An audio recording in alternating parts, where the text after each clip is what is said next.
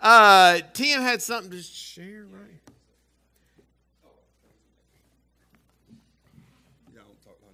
Um, I just want to come up real quick, and um, the song before that and this song, it just made me think about Axis Thursday night when I went, and I was talking about at times I don't pray as much as I should, but I fall asleep sometimes praying, and I wake up and start where I left off with that same next word that needs to come, and when Melissa, just like the song, "Oh, you'll call upon them, he see you," me think about Psalm six and Psalm King David.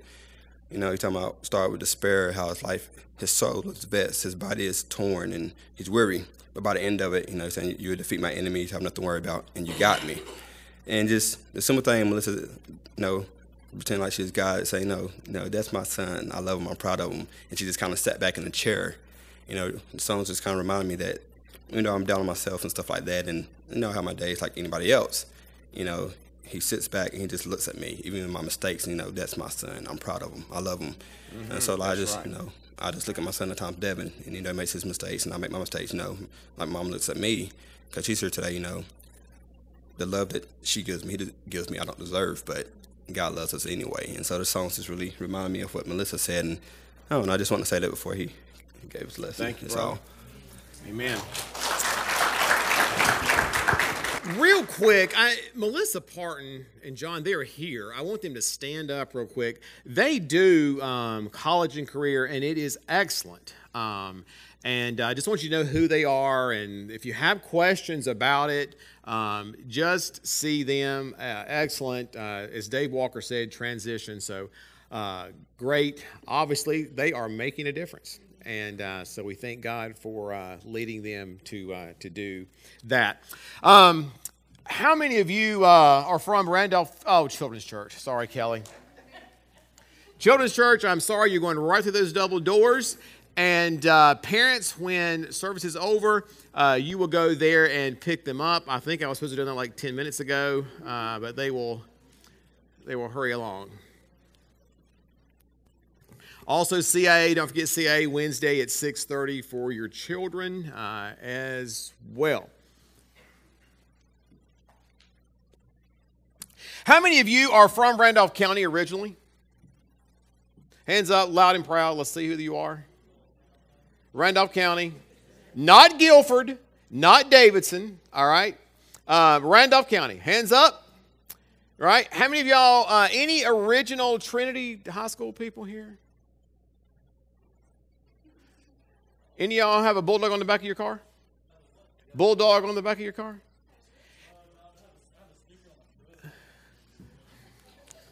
Like I said, Randolph County. Um, uh, all the Wheatmore people who are now that we have two high another high school in the area, Wheatmore. Any of y'all have a what is your logo? A turtle? I can't remember what it is. Uh, uh, turtles. All the any Wheatmore Wow. Uh, uh, this picture, which of these two groups of men are from Randolph County? Left or right? Um, and it's something in the genes, because we got some more over here. Sounds like uh, that thing. Uh, it is obvious, right? Um, it is obvious, not in every case, but we can spot people. When we go to lunch today, I can tell you, I can spot the preachers in the restaurant. I can spot them. Uh, I can tell what denomination most people are in the restaurant. I can tell uh, by the way uh, that they are dressed. When you go to the hospital, it's obvious who the doctors are, who the nurses are. Uh, it's obvious. I mean, it's even obvious who the smart people and the dumb people are, right? I have no trouble making that dis- deciphering that out, right? And it's like, okay, so people are known by different things. Uh, you're known by something, maybe where you work, your uniform. People know who you are, uh, they know where you work. The reality is that same principle should be true uh, for Christ followers. It should be true for Christians. It should be true for believers. People ought to know that you follow Jesus Christ, okay? They should know it when you get in your car on Sunday morning and come to church, right? Y'all are here, it's okay to say amen, right? Uh, they ought to know that, okay? They ought to know, hey, there's something different. They're not going to Walmart, they're not going to the golf course, they're actually going to worship. And when you get home, it ought to be obvious you've been to church, right? It ought to be obvious. People ought to know that you follow Christ and that there should be something different about you. Now, uh, we've all uh, experienced different kinds of Christians, okay? Um, some people uh, in here, you grew up in a more legalistic uh, background, a church. I grew up in a church where if the men were godly, they had white walls around their ears, right? And women always wore. Um, a dress, and nothing is wrong with that, okay? Uh, matter of fact, I think the pendulum has almost swung too far the other way. Uh, we've gotten where you can't spot a Christian, can't tell a Christian, can't, uh, they look like the world, act like the world, and that should not be. But the true mark of a follower of Christ should be that they love Jesus, okay?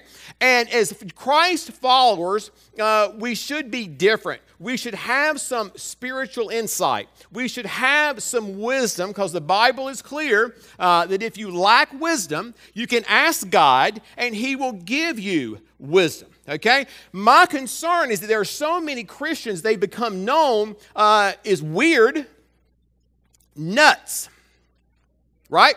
Um, listen, if you have a Bible verse on your Facebook page, you ought to be careful what kind of articles and videos you share. Listen, when you share something that's a conspiracy theory, that is crazy, far out there, and you have a Bible verse at the top or a cross, and please don't put Faith Baptist Church if you're one of these people, okay, because they put us all in the same camp. Listen, and you share some nutso video, they think we're all nuts. They think we're all weird. They think we're all crazy, okay? Listen, if something crazy is going to happen this week or next week, it's probably not going to be some man from Randolph County in the back of his truck sharing a board of prophecy, right? Okay? Christians, that's not what we're to be known for. Crazy. Not so. They believe everything. We look like we're all, it's just it's a bad reflection to who our God is. It's a bad reflection of Christ. Use some common sense. So don't be known for that. But the Bible is clear what we should be known for and that we should be different. Galatians chapter 2 in verse 20. Paul is writing to the church at Galatia. These are believers. These are people who have experienced Christ. They've been saved, born again, whatever you want to call it. They are daily following Christ. They are in church. And Paul is reminding them of something. Paul is telling them, hey, this is what happened to me. And Paul says in verse 20, I have been, it's a personal experience. It's something that has happened to him. He says, I have been crucified with Christ. All right? We know what happened on the cross. Christ was crucified, he was put to death. Okay? And Paul is saying, what happened to Christ on the cross and we know that when he was raised from the dead, his glorified body, it was different. Okay? Paul is saying, okay, I have aligned myself with Christ, and I too, my physical flesh, the what Paul desires to do, that has been put to death. It is no longer I who live, but Christ lives in me. And the life which I now live in the flesh, I live by faith in the Son of God who loved me and gave himself for me. When you accept Christ, when you say, okay, the Holy Spirit has convicted me that I need a relationship with God through Christ. I am not perfect. I have sinned. I have fallen short. There is no way there's anything good in me apart from Christ. When that realization hits you, Okay? And by the way, that's the only time you can truly become born again, right? That has to happen. So when that happens and you place your faith in Christ, the Bible is clear the old man, person, woman, child, middle schooler, that's dead, right? They're dead. What can a dead person do? Absolutely nothing. Okay, so they're dead. And so Paul is saying, when I accept Christ, that the Paul who used to want to wreak havoc among God's people, the Paul who wanted to stir up trouble, the Paul who was full of drama, the Paul who went around killing Christians, he's dead. And now that I have a Christ follower, he lives in me, and the life that I am living is completely subjected to the rule of Christ, and he walks through me, he talks through me, he brings me through. What I say is filtered through my faith in Christ. Wow. Do we ever need some believers like that? Mm. Oh my goodness. We need some church people, some preachers like that, some of God's people to say, you know what? The person who used to hate is dead. The person who liked to stir up trouble is dead. The person who lived for the next dramatic event at work that I could talk about, hey, that person is dead. The person who had no desire for the things of God, dead, dead, dead, dead. The greatest spiritual thing that can happen in our country, in your family, is for some people to flat out die spiritually. Right? Some of y'all are thinking, well, I got some names right now. I mean, it's like, huh? It's like, no, no, not talking about that. But spiritual death, that's when change happens. Listen, you can try to do better. You can try to do the right thing. You can read books, take courses, but until the old man is dead, the old man is still going to rule. It's going to rule it's going to be in control. But Paul says, I want you to know, church, for me, that old man, it is dead. So the mark of a Christian, the mark of a true believer, listen, it's not, it's not a political party. It's not the fact that you have an elephant or a donkey on your car. It's not some kind of rule that you follow. It's not whether you're woke or not. It's not whether you're conservative or not. It's not whether you're patriotic or not. The mark of a Christian is the person who has died in Christ now lives through them. And I'm afraid we've kind of forgotten that because when Christ lives through us, it absolutely changes everything. We are called to die to self. Now, he then goes on, he's writing to the church in Ephesians. The next he says this in Ephesians 2:10. And he says, "For we are his workmanship. It's He who does the work in us. We are created, or really it's recreated, born again in Christ Jesus for what? For what? Good works. For good works, which God prepared beforehand. Um, good, doing good should be the desire of every believer. All right? The desire to want to do the right thing. Um, listen, you ought to want to do what is right because it's what's right. Okay? There should be a desire to love people. There should be a desire to serve people. Uh, they should be the way you do your job should be different. Huh? Listen, it ought to be different. Listen, there ought to be a difference between in the morning between the person who went to church today and the person who didn't. There ought to be a per- difference between the person who says, you know what, I got a Christian bumper sticker, a Christian T-shirt, and listen. By the way, if that's the only reason somebody knows you're a believer or not, yeah, it's a trouble. Okay, that's not wise. They ought to know because you do the right thing. Your work ethic is different. What you talk about and who you talk about is very different, right? A lot of workplace drama could come to a complete halt if even just God's people would zip it and do your job. Huh? Amen. Those of you employed people, right? You need to bring all your staff to church, right? And bring them all here, right? It would make a difference. There should be a difference. And listen, I know lots of Christians who do the right thing. They've got the right t shirt, the right bumper sticker. They have all these things. They keep their house clean like all good Christians should, right? And they do all these things, right? They are ideal. And they say they love God. And they're doing great things, but they're so mean and hateful about it. I'd rather lick the floor at Walmart than be around some Christians, right? I mean, it's like, I think we got this backwards. Listen, the mark of a Christian should be. Yes, you do good works. But then Paul, he says uh, this in 1 Corinthians 16 in verse 14. Now, he's written to three churches. And he's in the church at Corinth, they were, um, they were good people. They had periods of time where they always did the right thing and they had periods of time where they were so far from God you wouldn't even know them as a Christian. Okay, they had issues with drama. They had issues with uh, sexual immorality, adultery. You got in-laws hooking up. I mean, it was wild. It was a crazy bunch of people. Okay, and then when they would get it together, they would start doing the right thing, but then they would forget the love part. I mean, you can help somebody, very sweet, or you can help somebody and be a rear end, right? I mean, and so these people had it mixed up. So Paul is reminding them of this in Corinthians 16, verse 14. He said, Let what? Everything you do, your worship, your stand uh, for morality, your principles, the personal guidelines that you have for you and, and your family. Let your job, let your worship, let your church, let your sharing Christ, let everything be done with love.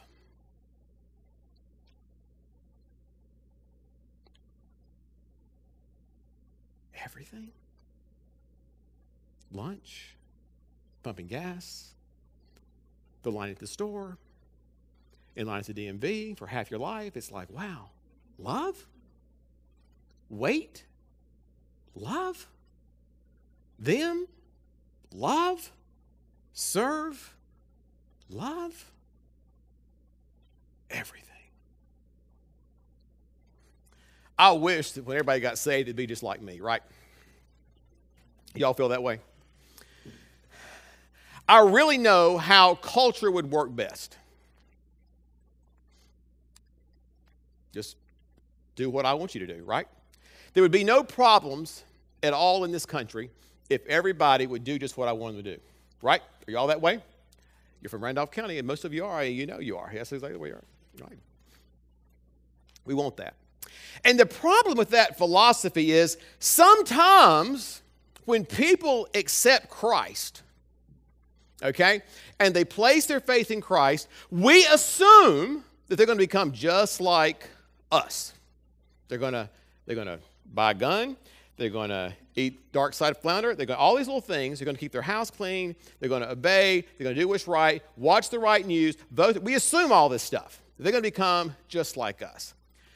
And why it so bothers me that this is not in the Bible, I wish it were, but it's not. Nowhere in the Bible does it say when people accept Christ, they are going to become southern, gun owning, flounder eating people who keep everything clean. That is not in the Bible. Can you believe that? If I were writing the Bible, absolutely, it would be in there, but it's, like, it's not.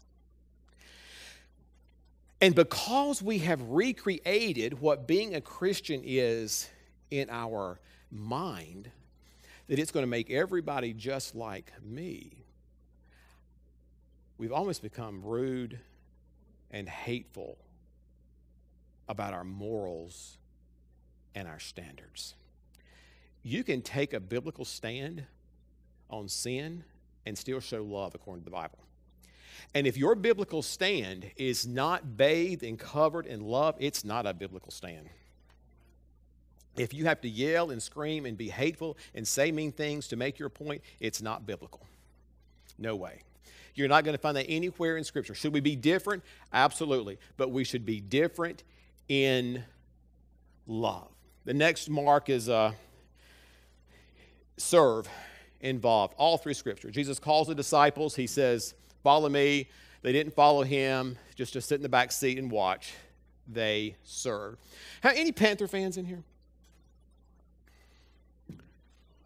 No wonder they're struggling. Nobody liked them. Nobody liked them in the first service either. Nobody likes the Panthers. Um, anybody like uh, Carolina basketball? Anybody like? Um, is there another team? Let's see. What uh, state? Anybody like state? State?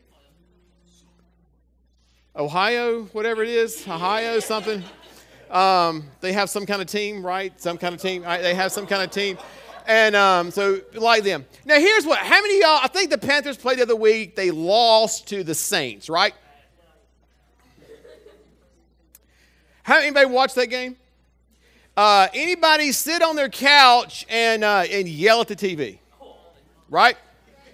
Like, I mean, we say, people say the dumbest things. How could you do that? That was a stupid move. I mean, can't you catch the ball, right? People say stuff, stuff like that. All right? People say that. You're on your couch, you're yelling at a TV. Is that weird? You're yelling at coaches, you're yelling at players. Is that crazy? That is so crazy. All right? Has anybody ever had the, the team look at the camera and say, that guy on their couch in Randolph County, he's right. That was a dumb play, right? That ever happened? That has never happened, right?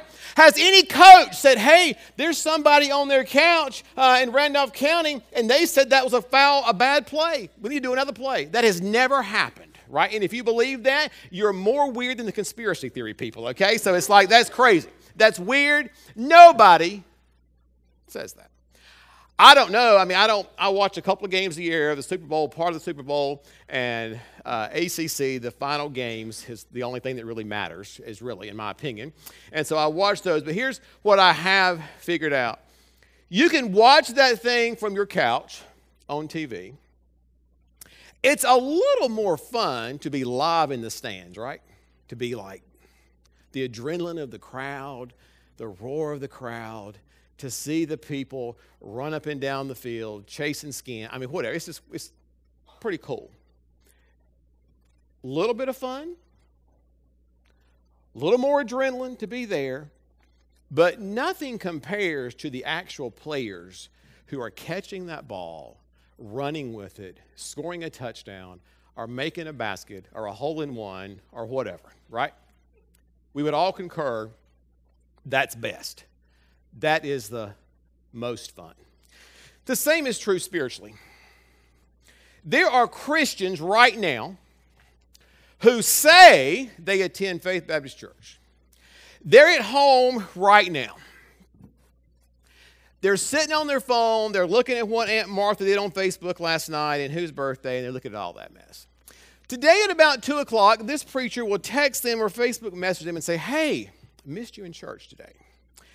90% of them will respond, Oh, man, I just want you to know, you know, didn't make it today, but I was there in spirit. I was there in spirit. Hey, didn't want you, I didn't make it today, and all they got a million and one excuses. All right, most of them wise, but they'll say, "Hey, but I was praying for you." Go, preacher, go. Right now, there's a hundred people at home saying, Hey, faith is my church. And I'm sure they're sitting on their couch. Oh, I'm praying, dear God, let their spirit fall on that place. And God use, use him, use the music, whatever, right? That's what they're going to tell me when I text them at 2 o'clock today. Are they lying? You better believe they're lying. And may they burn, burn, burn, burn for lying, right? It's like, oh my gosh, how could you do that? Oh, listen, a lie is a lie. And it's like, and Revelation says liars are going to burn, burn, burn. So that's truth, right? Now, I don't hope that, not really, but it's like, do I think that sometimes?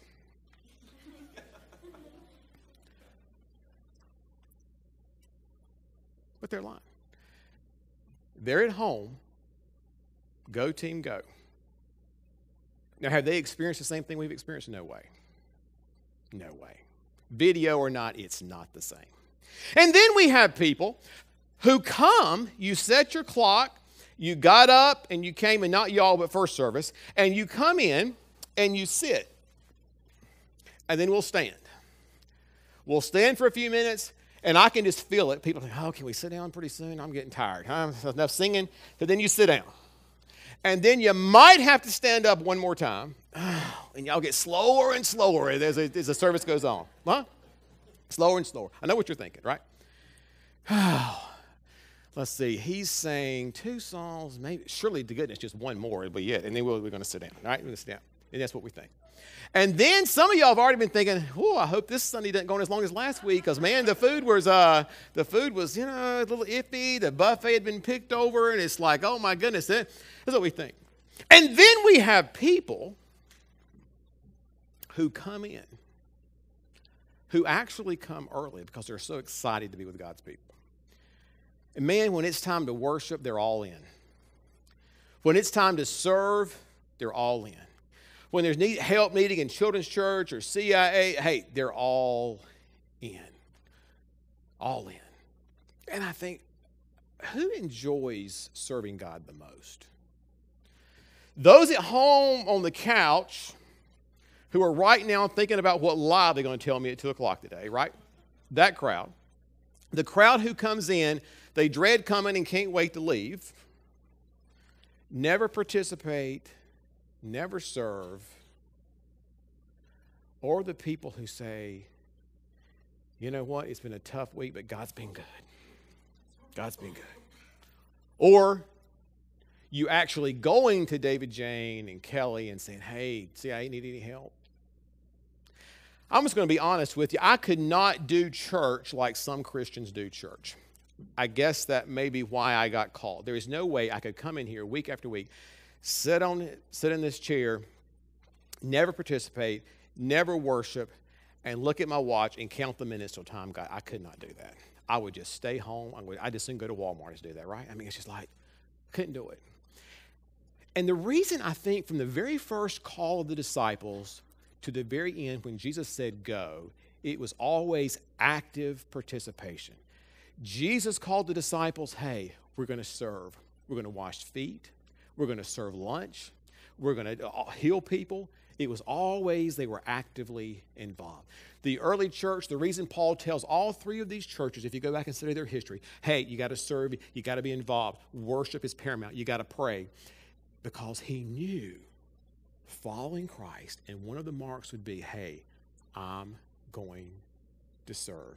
Corinthians, he calls it, or uh, Ephesians, he calls it good works. Good works, praying is a good thing to do. Worship is a good thing to do. Serving, picking up trash, nurse, it's all a good thing to do.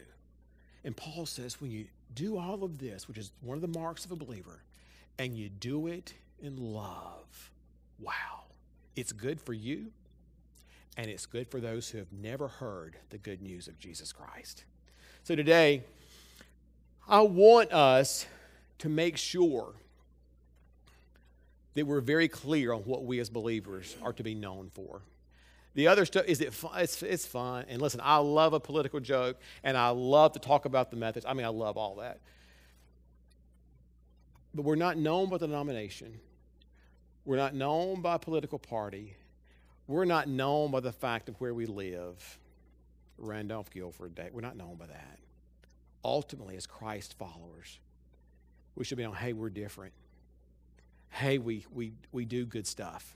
Not to get saved, not to stay saved, but just because of He who lives in us. And all of that should be bathed in love.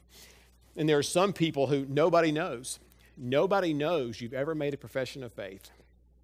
You may have done it here, you may have done it at home, but nobody, you've never told anybody, hey, I just want you to know I place my faith in Christ. Maybe you need to make that public. The Bible is clear. The first thing we're supposed to do after we accept Christ uh, is really is baptize, to be baptized. It makes it public. It says, you know what? I'm a Christ follower, and I want everyone to know. And if that's you, what a great day. What a great day to make it public. And for the rest of us, I want you to stop and say, okay, who really knows I'm a Christian? I mean, who really knows I'm a Christ follower? And then why do they know? Why do they think that? Is it because of, and church, let's make sure it's solid. It's, hey, I love him, I worship him, I serve him, I do it in love. Would you stand? Father, today we pray that, God, you would do what only you can do. In Spirit of God, we pray you would touch hearts. And God, there, God, there are people here who probably, who have never made their decision for Christ public. They've never been baptized. God, there's some here who have never made that decision to follow Christ.